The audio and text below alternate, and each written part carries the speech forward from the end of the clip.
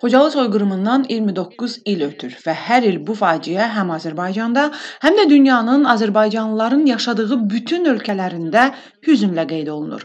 Ermənilərin vəhşiliyi unudulmur və unutdurulmur. Elə ona görə də dünyadakı Azərbaycan diaspor təşkilatları hər il Xocalı soyqırımına anım mərasimləri təşkil edir, konfranslar keçirir, beynəlxalq qurumlara bəyanat və məktublar göndərirlər. Xocalı soyqırımının anım günü ilə əlaqədar olaraq bu ildə Niderland Krallığında fəaliyyət göstərən Anavətən Avropa Azərbaycanlı Qadınlar Birliyinin təşkilatçılığı Azərbaycan Respublikası Diasporla İş üzrə Dövlət Komitəsi və Niderland Belçika Azərbaycanlıları Koordinasiya Şurasının dəstəyi ilə Xocalı Qan Yaddaşımız adlı onlayn anım konfransı keçirildi.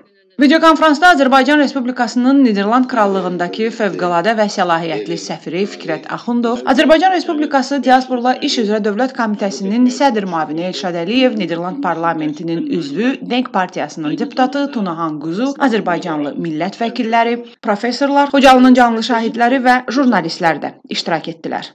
Qeyd etmək lazımdır ki, Xocalı soyqırımı e, əgər 10 il, 15 il bundan öncə e, tək-tük ölkələr bu haqda danışılırsa, artıq onlarla ölkələr e, eyni zamanda Amerika Birləşmiş Ştatlarının bir çox ştatları tanımışdı Xocalını. Xocalı günü elan edilmişdi. Bəzi ölkələrdə hətta e, bələdiyyə, qəsəbə səviyyəsində e, Xocalı ilə bağlı məlumatlar yayılmış, rezolyusiyalar, qətnamələr qəbul olunmuşdu. Bu çox sevindirici haldır.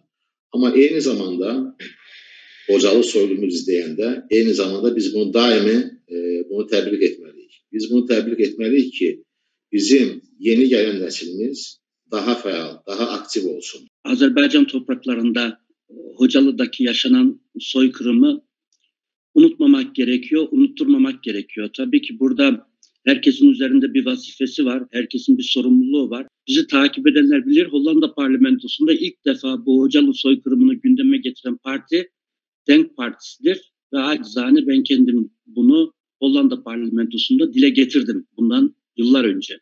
Az önce burada vurgulandı ki bizim məqsədimiz bu e, Xocalıda baş verənləri dünyaya tanıtmaq. Əslində bizim məqsədimiz dünyaya tanıtmaq deyil, bizim məqsədimiz dünyaya təsdiqlətməkdir.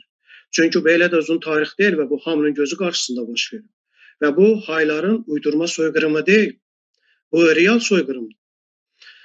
Ona görə də mən fikirləşirəm ki, biz e, bu yöndə məhz təsdiqlətmək yönündə öz fəaliyyətimizi daha da e, davam etdirməliyik. Bilirsiniz ki, Xocalı faciəsinin beynəlxalq ictimaiyyətə e, təqdim olunması və onun soyqırım, soyqırım aktı kimi ə, e, tanıdılması istiqamətində dövlətimizin, dövlətimizin müxtəlif strukturları, elə diaspor təşkilatları uzun illərdir ə, yorulmadan fəaliyyət göstərməkdədirlər və bu fəaliyyətin əsas məqsədi də elə Xocalının beynəlxalq məhkəmələr müstəvisində soyqırım kimi tanınmasına nail olmaqdır. Nəzəri və hüquqi baxımından Azərbaycanlılara qarşı törədilmiş soyqırımlara e, bağlı e, beynəlxalq tribunal yaradılması mümkündür. E, hüquqi müstəvidə bunun əsası var. Ancaq belə tribunalın yaradılması üçün BMT, BMT Təhlükəsizlik Şurasının qətnaməsi mütləq olmalıdır və belə qətnamənin qəbulu üçün də Təhlükəsizlik Şurasının daimi üzvlərinin tam səsi lazımdır. Heç şübhəsiz ki, e, Ramin müəllim burada çox detallı bir şəkildə söylədi. Sahib müəllim çox gözəl bir şəkildə e, siyasi olaraq əslində Hollandanın e, keçmişdən günümüzə tarixi ilə heç bağdaşmayan bir tərz ortaya qoyduğunu söylədi. Amma Ramin mənim söylədiklərimi xüsusilə mən e, altını çizərək bunu demək istəyirəm ki, e, haqlı olaraq əslində soyqırım e, nədir və Xocalı nə üçün soyqırımdır? Buna rəğmən amma bunu qəbul etdirmək yolunda nədən bizim çətinliklərimiz var? Bunu söylədi.